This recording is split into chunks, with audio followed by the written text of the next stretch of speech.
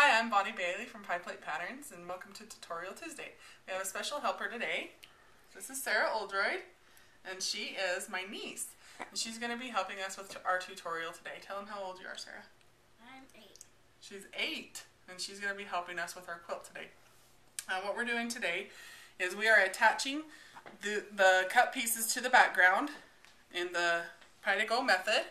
We're working on the labyrinth quilt and we've got part of them attached and we're going to lay out the rest of them and show you how to attach those. So these are the pieces that we have left and we're just following the pattern and making sure that we get the right pieces in the right place. So Sarah is our expert at this and she is really good at laying out the colors. So I'm going to tell her what piece we need. Okay, we need a middle-sized square right here. Okay. Okay, and she's going to find the right piece and put it down. We'll get them all laid out and then we'll show you how to attach them. Here. Right here. Mhm. The corner right. So you can see that this piece covers four of our four of our grid blocks. There's one, two, three, four. This piece is going to cover four of those. We're going to be gluing them all in this same corner right here in the upper left hand corner. Okay, then we need a little square, itty bitty square.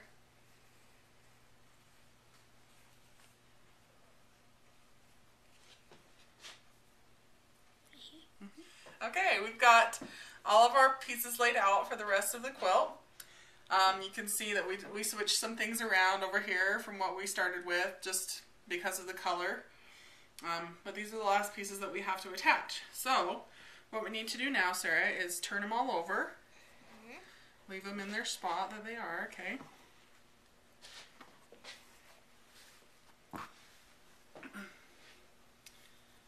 And then what we use is a, just the Elmer's uh, washable glue, school glue.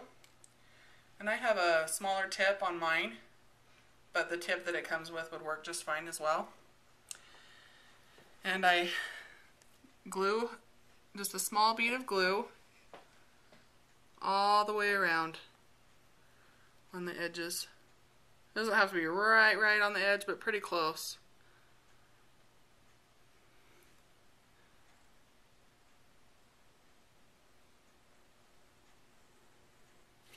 And don't be afraid to get dirty because you will get glue on your fingers when you turn it around. And you're going to place that in that upper left corner. Push the edges down to make sure. And then you're going to let it dry like that so that it will stick really nicely. You want to do one, Sarah? Sure. You want to do a little one? Mm-hmm. Okay, you want to turn this one over? Okay, it goes in this corner here, okay?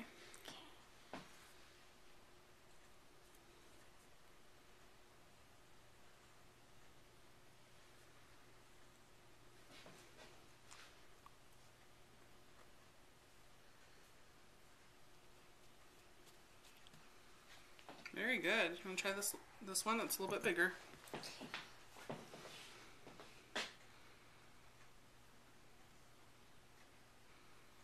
Bigger ones are sometimes a little harder to turn, huh, Sarah?